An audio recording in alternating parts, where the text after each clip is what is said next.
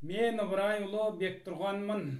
Қытай Халық Республикасы, Шыңжаң іле Қазақ автономиялы облысы, Текес ауданы, Қарадал ауылы, Қаражан қыстағының тұрғынымын. 2013 жылы октябрьде Атамекен Қазақстан Республикасына қоныс аударып көшіп келгем. Қазір Қазақстанның толыққанды азаматымын. 1989 жылдан 2039 жылға дейін 50 жылға заңды келісім шартпен берген төрт маусымдық жайылымдық жерім. 621 му яғни 42 гектар жерімде Қытай Халық Республикасының жайылым заңы бойынша тынықтырылған. Жердің берілетін қаражаты 2016 жылға дейін алып келгем. 2017 жылдан бүгінгі 2021 жыл мартқа дейін ешқандай жердің тынықтыру қаражатын ала алмай отырмын.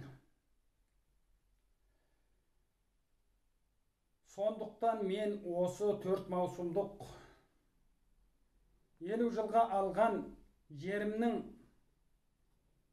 жер тынықтыру қаражатын төлеп беруін әрі елу жылдық уақыты біткенге дейін менің меншігімде екендігін қытай үкіметіне қатаң түрде ескертемін әрі талап етемін.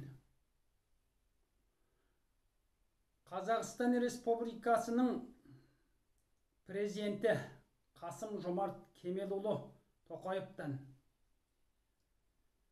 Халықаралық бірлескен адамдық құқықты қорғау ұйымынан халықаралық бірлескен мемлекеттер ұйымынан халықаралық еңбек шарттық қорғау ұйымынан осы Қытай үкіметі Шынжаң иле Қазақ автономиялы облысы Текес ауданы Қарадал ауылы Қаражон қыстағындағы елу жылға алған меншікті жерімнің сол мерзімді уақытысы біткенге дейін заңды құқығына құқылы болуына қайтарып беруіне соған дейінгі төлем ақшасын Қытай өкіметінің төлеп беруіне өз тараптарыңыздан көмектессеңіздер екен деп сіздерден өтініш етемін. 2021 жыл 29 март.